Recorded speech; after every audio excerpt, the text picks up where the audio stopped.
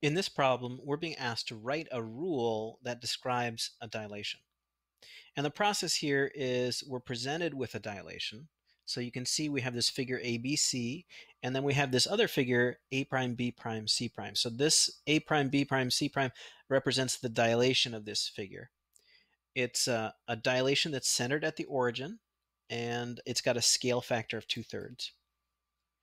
So the process we're going to follow here is just to uh, look at the coordinates of each of the new pieces and then pick whichever rule seems to fit with those coordinates.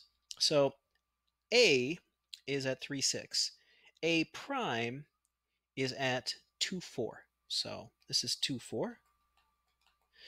And B is at 6, negative 9.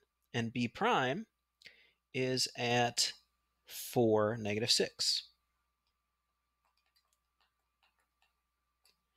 And then C is at negative 12, negative 3, and C prime is at negative 8, negative 2. So the question is, which one of these rules uh, applies? And maybe you already know from doing dilations that when you do a dilation, you just multiply the coordinates by the scale factor. If it's centered at the origin, that's how to do a dilation. So if you're starting with some coordinate x, y, then the point you want for your dilation is going to be two thirds times x in the case of this one because the scale factor is two thirds, and two thirds times y.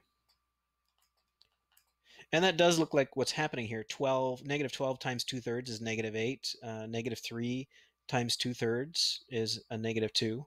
So that would be this rule right here.